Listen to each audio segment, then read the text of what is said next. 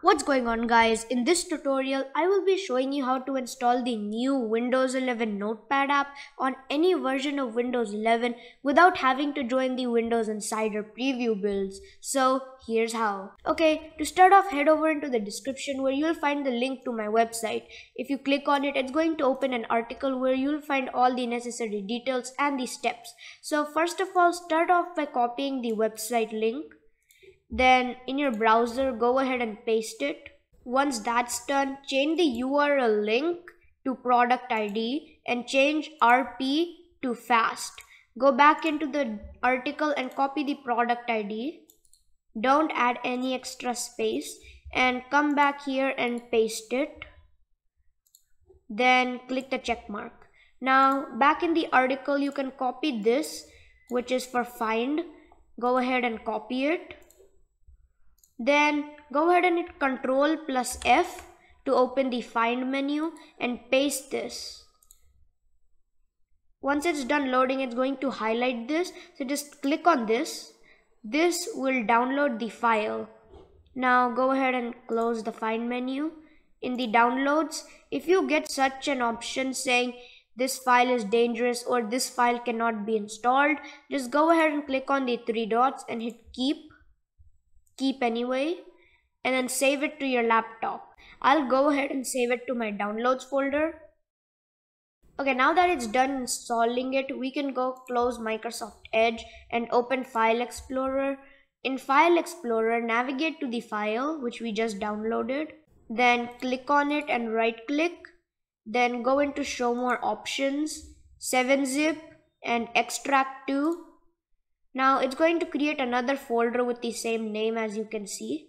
So open the folder. Then after opening the folder, scroll to the very bottom until you see Notepad app x64. This file right here, it's an MSIX file. Go ahead and to follow the exact same thing. Show more options, 7-zip and extract to. Now once it's done extracting, you can go back to the very top and you'll see a folder with the exact same name.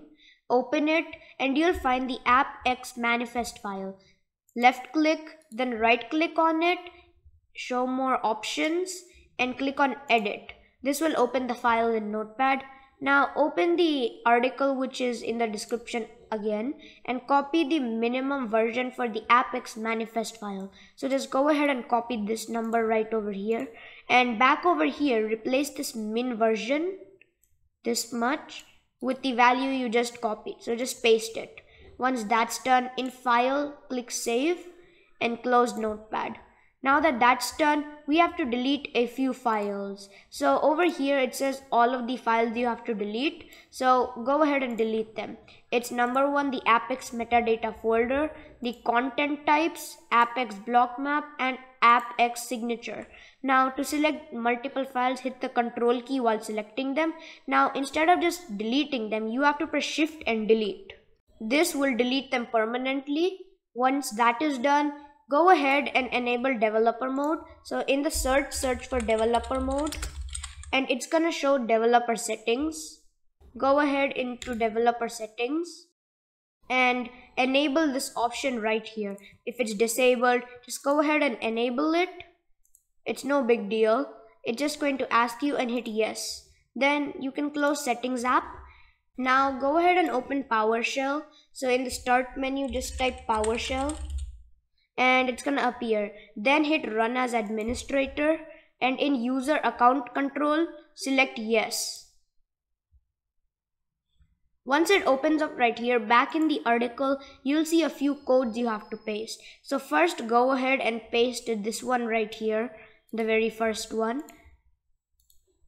go back and control V for pasting it and hit enter once you're done with that go back to the article and copy the second code right over here so go ahead and copy it then back in PowerShell paste it then add a space and back in file explorer in the same folder we were just inside click on the appx manifest file xml document right click and hit copy as path now you can finally close File Explorer. Now just paste the path and then hit enter. After it's done executing that, you can close PowerShell. Now, when you go to your search menu and search for Notepad and click open, you will finally get the new and amazing Windows 11 Notepad, the one which Microsoft has only released in the Insider Preview dev build. You can also see it says preview at the very top. Now, what is new in this? First of all, the menu looks really cool with page setup and print and also the new window feature. In edit, you get a whole list of options which weren't there previously in Windows 10. Like you can even add the time and date, which will import the current time and date. Under view, you get word wrap, which is really useful. Other than that, my favorite is the dark mode. So when you click on the settings right here, in app theme, you can choose dark. And wow, does this look good. Once that's done, you can go back and look at this. It looks so cool. To make your Windows 11 PC even cooler, check out this video right here and you will be able to do that. And I'll catch you in the next one.